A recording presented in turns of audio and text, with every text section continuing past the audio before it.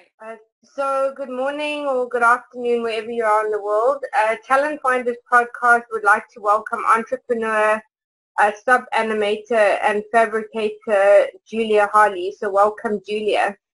Thank you. Uh, so, Julia, firstly, congratulations on all your achievements.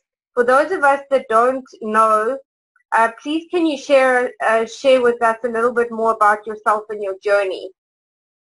So I started in, um, I actually just started when I was younger making puppets and then I went into the study of stop motion animation and that brought me to kind of where I am today where I studied at the School of Visual Arts and then I switched to the Massachusetts College of Art and just continued to pursue my animation um, and building puppets and learning something that kind of isn't, it, it's still used today, but not a lot of people are using it.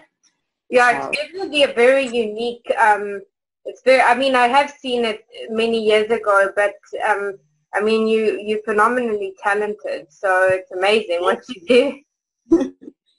yeah. So I it's I make like all my puppets. I like to see the physical like character there in the moment. Um, I don't like sitting on my computer doing all that. I like kind of playing with the puppet, acting it out myself, and performing it through the character and that's always exciting after like a day of shooting when you can look back on like the 30 seconds that you shot and be like oh that took a lot of work and it and it worked. Like i brought this thing to life.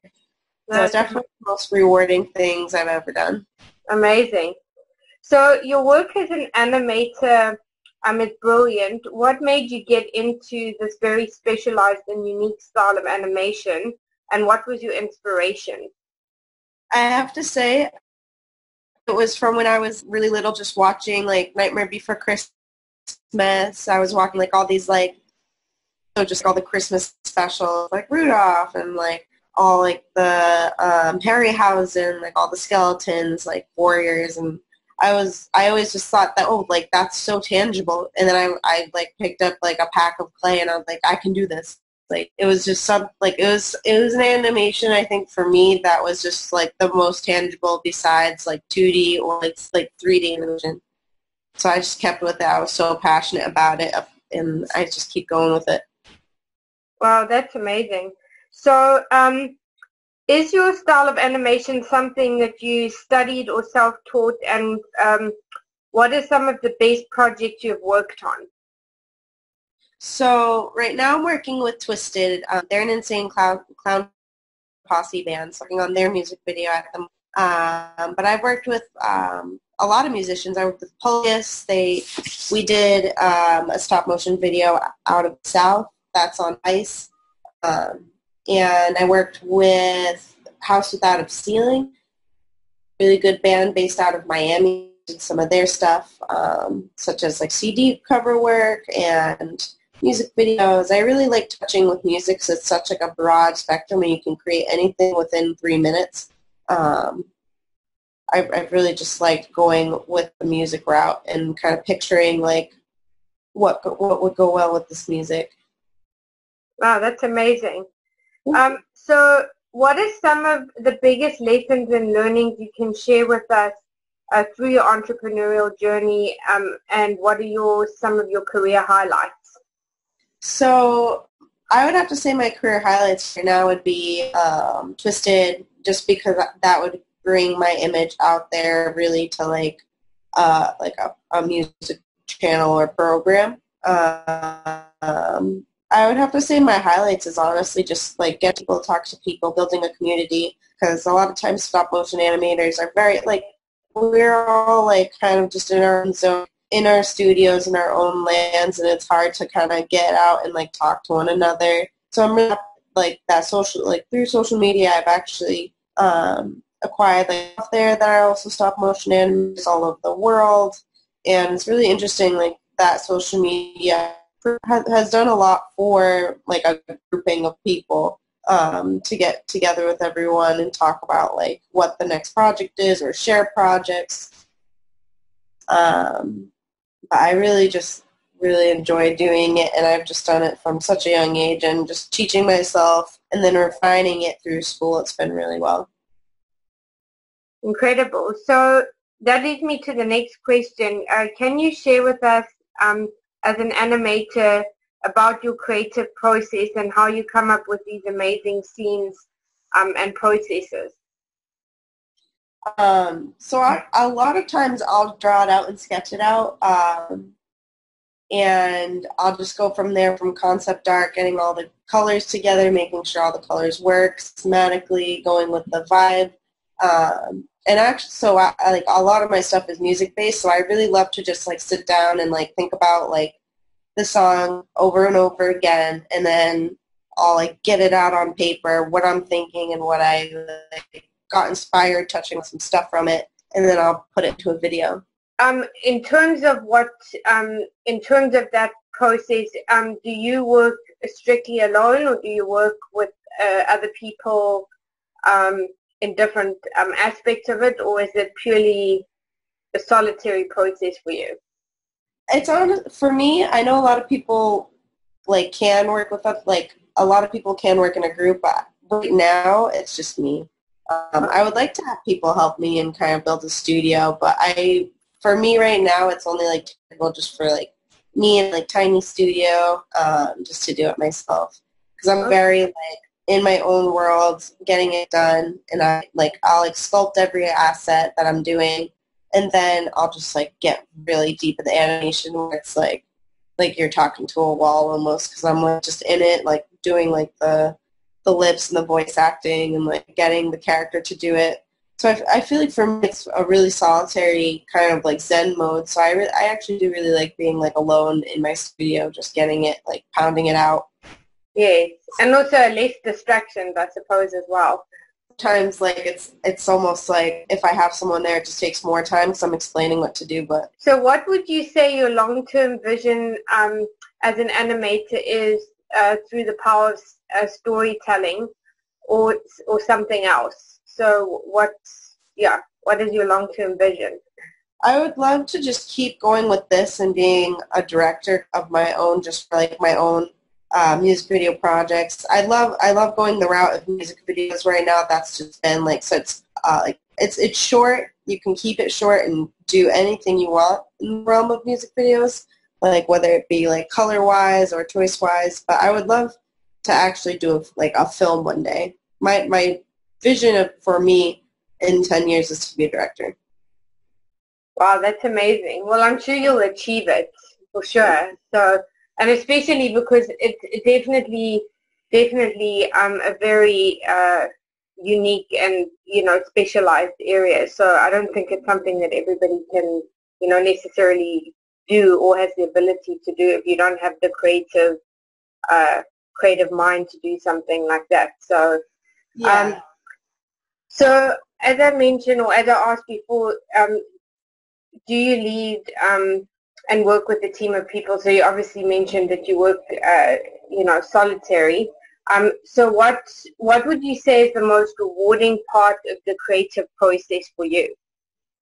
The background in a different like uh, like setting. So like a lot of like for my recent film Widow's Peak, I photographed like inside of a dollhouse and then imposed like the, the green screen character into the dollhouse. So I think when it finally comes together and I see it like like that that moment where I'm like, oh, I'm not crazy. This actually like is coming together and making sense. Kind of happens on this on like After Effects and Premiere, and kind of seeing like when it's like when it hits like I know for me with the music videos when I see like an action hitting on like just that note that I wanted it to, yeah, it, like like makes my heart go and I'm like, yes, this is it. The design um, and intricate detail that goes into each puppet and character. What is your process um, and the incredible detail um, is absolutely amazing. Where does the inspira- uh, I mean, where does this inspiration uh, uh, come from, and how long does each process take till the final product is out? So each pro- each one's kind of different. So for the new music video I'm doing, it's it's a less complicated puppetry where it's almost 2D but 3D. Um, but that's coming from um, I'm doing their song role models, so that one's going to come out of more of like uh, creating like caricatures of famous people that that have done kind of horrible things. But um, for my for my actual like movies and films that I've done, like Widow's Peak and kind of Out of the South and all my other stuff, I like to just draw from. Um, I'm actually from Portugal. I was born in Portugal.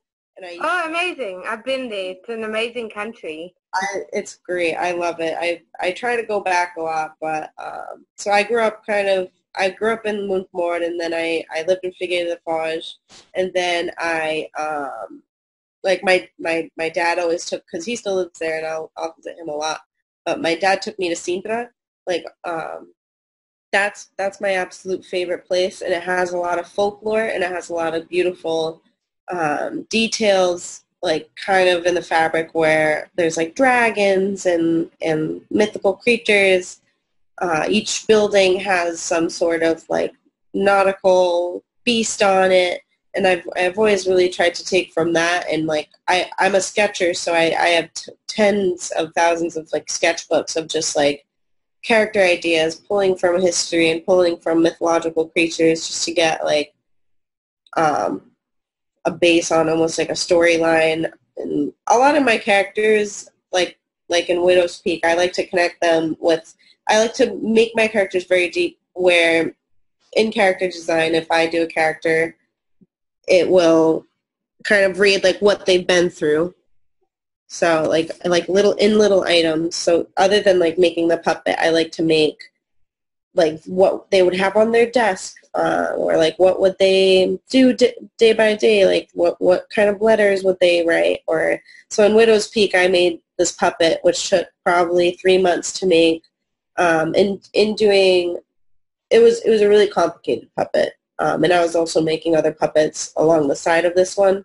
Mm. but she had 20 replacement faces. So each of my puppets actually have magnets in their faces so I can attach like any type of like with magnet paint even you can attach just like anything to a magnet. So I do different faces so they can do all the poses or all of the lip syncing that you need to do for like the scene. So my main puppet in Widow's Peak had over 20 faces of just like different types of expressions, details, screaming face, uh, sad face, something like that. And so she took like, I want to say two to three months just to get every face complete uh, for shooting.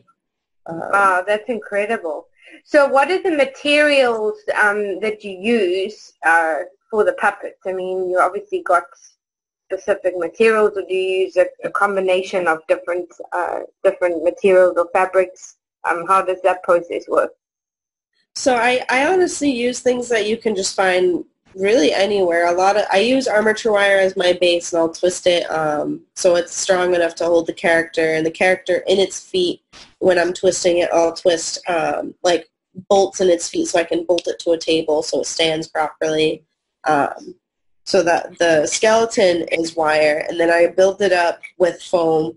Um, like you can, you could like any type of just like even bed foam. Like I cut up like pillows one day, just stringing foam around, and um, a lot of times like I'll use, I'll save like clothes if I'm like, I'll, I'll save like old clothes and I'll like cut squares out of them, and so I have like a little kind of bank of just like old clothes that I can use for puppets. Like I'll cut up little sleeves, I'll hot glue it on, kind of whip it together, and then I'll use plumber's epoxy for the feet to get it, because um, plumber's epoxy is really awesome just for um, like quick sculpts onto like a character. So like the feet will have plumber's epoxy and it air dries and it turns into like a plastic. And then um, I'll, I'll leave a ball in the head with the armature wire so I can then sculpt um, the head, but the head I have to sculpt completely without any expression or anything like that, so I can add on expressions with clay after if I wanted to. Um, so when I'm sculpting, it's kind of scary because they all don't have pupils, and I have to like picture picture it without like eyebrows and pupils. Oh wow, that must be quite challenging as well. And then yeah. when you when you set up the the scenes uh, around the puppets, is, do you also use like a green screen and then uh, you know incorporate graphics into it, or how does that how does that work? So I incorporate. So I, I'll take everything um, into After Effects after doing all of my animation, and I'll put it into After Effects using my Keylight program, and that will kind of compose all of the it'll get all the grain out and I, I I know for me I always have to go in and color edit to get uh, like every single thing out. Um, and then I just throw it right on the back of like a background. I just shot in photos um, and kind of just whip it together in After Effects um, kind of slide it make sure it's going places. I use a lot of masking so I can kind of fit like I had a I had a scene with my character. She was in the window and I had to fit her completely in this window pane with like all the like lines in a window pane being um, blocked out. So I had to ma- like individually mask each one of this window pane for each frame, and it was it was crazy, but it, it looked so good in the end. Oh, amazing, amazing. So that leads me to um, the the last two uh, questions is um, what are your three key pieces of advice um, you would um, have for other entrepreneurs um, and for those who want to pursue a similar career? Um, I would honestly say what's I know what's important for me is building your brand. For like I know like through Instagram and through everything like that, I try to really stay with a consistent style. Uh, just because if I don't stay with that consistent style and, and say like I don't stay with my puppets and then go off like into another direction, then people don't stay as interested in what I'm doing. Um, cause I, I, I've done like so much art in my time where I'll do embroidery, I'll do like random tattooing and like I'll do, I'm like a pioneer woman, but like I know with stop motion, um, I built my brand with that and that's been going kind of really well, just sticking to one thing getting um, my brand and, and kind of a personality for my brand, which is really important for me. Yeah, absolutely. And then just just to elaborate on the, the branding part, so what is your vision for the brand? Is it so because you obviously there's your personal brand and then there's you know the branding around what you actually do, or, or do you just try to encompass it into one? I try to encompass it into one. Um, I know it's hard sometimes just because like things can seem that they're so everywhere. Yeah. Um, but I think telling, I know telling stories. I know my brand right now is animation telling stories, and and sometimes I'll do my own personal stuff. But I know it's hard to tie it all together, so I try to really stay consistent with the with the personality and story. Yeah. Um, and have you have you um uh, in terms of exposure what you do, have you um, had features or been in magazines or been on uh, other interviews or um, is that not something you've really, really done much of? I actually, so um, I know for me, just talking to other, like a lot of artists, like we all support each other and throw our own kind of like community base, base out there. Um, so I know for me getting myself out there, it's been a lot of times where I'm like, if I'm at a cafe or if I'm, at, I'm anywhere, I'll leave my business card somewhere. So then that'll bring um, kind of like attention. And I've had friends that I've had just through business cards through a cafe. Um, and I know just from music videos, I, I capture a lot of people um, from their fan base and through Vice. Vice collects a lot of great creators. Um, so I did that and got myself out there. But it's been a lot of just self-promotion, making sure that I'm not forgetting um, like where I want to go and just keep going at it. And keep authentic. I mean, I think that's also the key thing is to just be authentic in your work and, and what you do. Perfect. Well, thank you so much for joining and for sharing your story. And hopefully we can have you back in the future and see your progress. And yeah, yeah just wish you the, wish you all the best. Thank you so much.